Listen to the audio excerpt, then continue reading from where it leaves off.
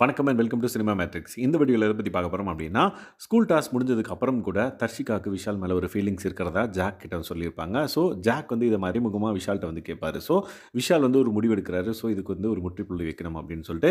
So அவர் வந்து தர்ஷிகா கிட்ட ஒரு சில விஷயங்களை வந்து தெளிவாக புரிய வைக்கிறார். இது என்ன சொல்கிறாரு அப்படின்றத நம்ம டீட்டெயிலாக பார்த்தலாம் அதுக்கு முன்னாடி நம்மளோட சேனலை நீங்கள் சப்ஸ்கிரைப் பண்ணாமீங்கன்னா சப்ஸ்கிரைப் பண்ணி சப்போர்ட் பண்ணுங்கள் ஃபஸ்ட்டு வந்து பார்த்தீங்கன்னா தர்ஷிகா அவங்களோட ஃபீலிங்ஸை வந்து அவ்வளோ எக்ஸ்ப்ரெசிவாக சொல்லலை. பட் அவங்களுக்குள்ளே இருக்கிற அந்த விஷயத்தை வந்து சொல்கிறாங்க ஸோ எனக்குள்ளேயே தான் வந்து நான் அந்த பர்டிகுலர் விஷயத்தை வந்து பூட்டி வச்சுருந்தேன். பட் ஒரு சில இடங்களில் அது வந்து நான் எக்ஸ்ப்ரெஸ் பண்ணுறனால அவங்க தப்பாக புரிஞ்சுக்கிறாங்களா என்னன்னு தெரியல அப்படின்ற மாதிரி ஜாக்கு கிட்ட அவங்க சொன்ன விஷயத்தை வந்து சொல்லியிருப்பாங்க. ஸோ விஷால் தெளிவாக எக்ஸ்பிளைன் பண்ணுறாரு லைக் உன்னோட ஃபீலிங்ஸை வச்சியோ இல்லை என்னோட ஃபீலிங்ஸை வச்சோ வந்து இங்கே நம்ம ப்ளே பண்ண முடியாது.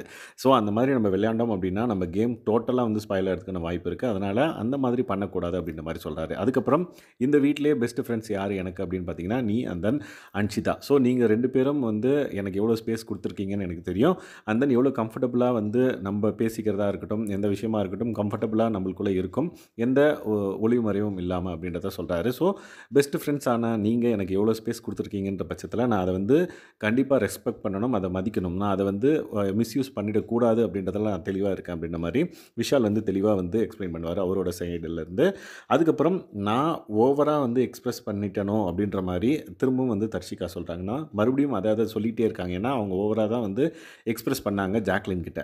அதை தான் வந்து இங்கேயும் வந்து விஷால்கிட்ட வந்து சொல்கிறாங்க ஓகே அது இருக்கட்டும். ஸோ க்ளோஸ் ஃப்ரெண்ட்ஸ் என்னவாக இருந்தாலும் க்ளோஸ் ஃப்ரெண்ட்ஸ்குள்ளே நம்ம ரெண்டு பேரும் க்ளோஸ் ஃப்ரெண்ட்ஸ்னு நம்மளுக்கு தெரியும். ஸோ அதை வந்து நம்மளே டிஸ்கஸ் பண்ணலாமே.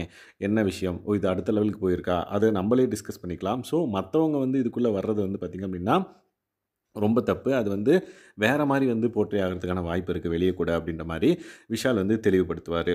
ஸோ இந்த மாதிரி விஷயங்கள்லாம் வந்து நம்மளுக்குள்ளே டிஸ்கஸ் பண்ணிக்கிறப்ப எந்த இஷ்யூவும் இருக்காது.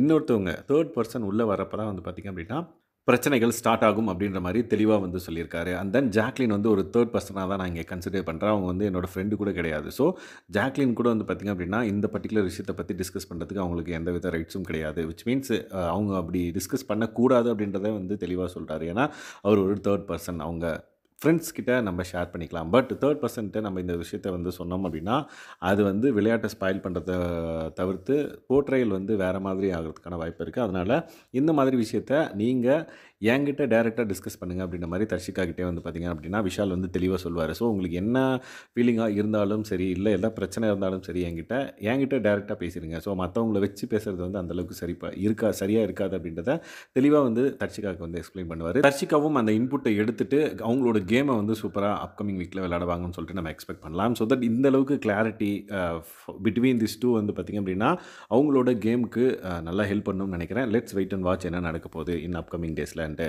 ஸோ இந்த மாதிரியான பிக் பாஸ் அப்டேட்ஸை நீங்கள் தெரிஞ்சுக்கணும் அப்படின்னா நம்மளோட சேனலை சப்ஸ்கிரைப் பண்ணாமீங்கன்னா சப்ஸ்கிரைப் பண்ணி சப்போர்ட் பண்ணுங்கள் தேங்க்ஸ் guys. பாய்